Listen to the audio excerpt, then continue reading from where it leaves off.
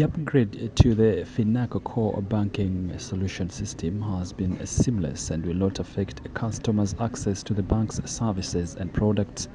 According to Robin, the I&M Bank Chief Executive Officer, the huge investment undertaken by the bank seeks to revolutionize banking and cater for customers opting for intra-bank transactions.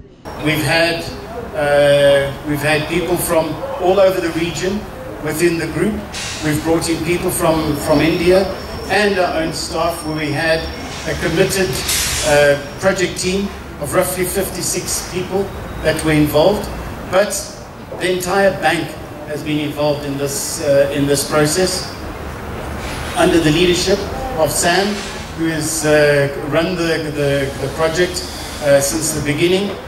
The upgrade to the core banking system brings I&M Bank Uganda's investment on digitization of its systems and platforms to approximately 9 million US dollars. The upgrade comes on the heels of the bank's strategic partnership with MasterCard, a global leader in technology and digital payments. Kumar and his team, Alvin on the on the digital side, Gerald, Gerald who's rolled out our new treasury banking system, and then bringing the customers alongside through Gibson and the work that they've done in their team.